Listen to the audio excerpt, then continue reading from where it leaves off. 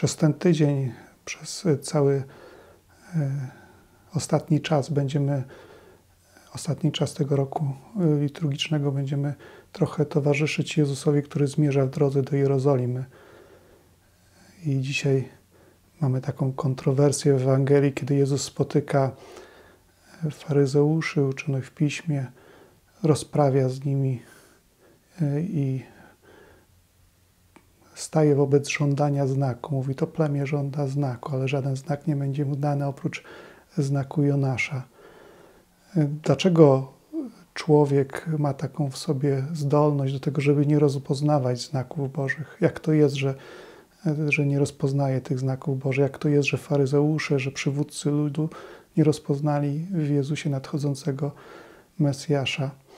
Jezus przywołuje dwie figury starotestamentalne, dwie postacie starotestamentalne, proroka Jonasza e, i królową z południa.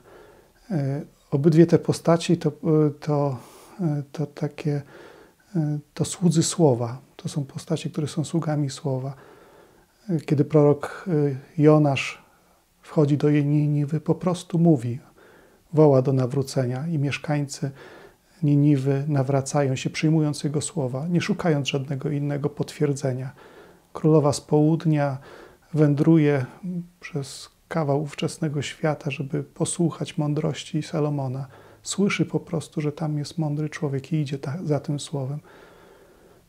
Mieszkańcy Niniwy i królowa z południa są sędziami dla tego pokolenia, dlatego że oni zaufali słowu, poszli za tym słowem i wtedy przekonali się o jego prawdziwości. A tutaj przywódcy ludu nie potrafią pójść za słowem. To wezwanie dzisiaj dla nas do tego, byśmy nie tyle słuchali wiedzy, mądrości, ale poszli za tą mądrością w życiu.